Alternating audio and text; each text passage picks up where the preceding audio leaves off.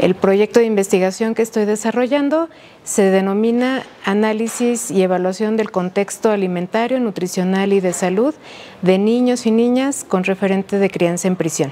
Estamos utilizando eh, el análisis eh, de los biocomponentes del estado de nutrición, biocomponentes de la dieta y a su vez la interpretación de las mamás de estos niños en términos de seguridad alimentaria. Pues este proyecto tiene la ventaja y el privilegio de derivarse de la cátedra de, de investigación de infancias con componentes de crianza en prisión, que es un esfuerzo de nuestra universidad, el cual lleva ya un recorrido de más de dos años.